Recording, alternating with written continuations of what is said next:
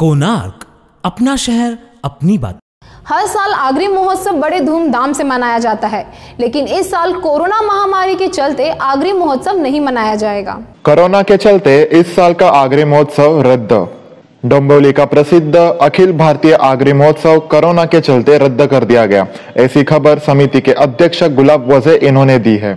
Agri youth forum के तरफ़ से 17 साल से अखिल भारतीय आगरी महोत्सव का आयोजन किया जाता है। शैक्षणिक, प्रबोधनात्मक, सामाजिक, सांस्कृतिक जैसे अच्छे उपक्रमों के वजह से आगरी महोत्सव दूर दूर तक प्रसिद्ध है। इसके कारण हर साल वहाँ कमाल की भीड़ लगती है। पर इस साल मार्च में शुरू हुआ कोरोना वायरस का संकट अभी तक टला नहीं है। कई लोग इस जानलेवा महामारी का शिकार बने हैं और इस महामारी के ऊपर कोई वैक्सीन मार्केट में नहीं आई है। इस सारे संकट में महोत्सव के समिति ने एक बैठक बुलाई थी।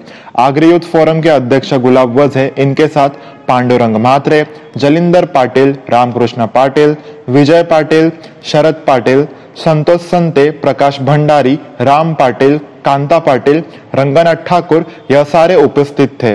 इन सारे सदस्यों के उपस्थिति में एक मत से इस साल का आग्रह महोत्सव रद्द कर दिया गया। कोनार्क अपना शहर, अपनी बात।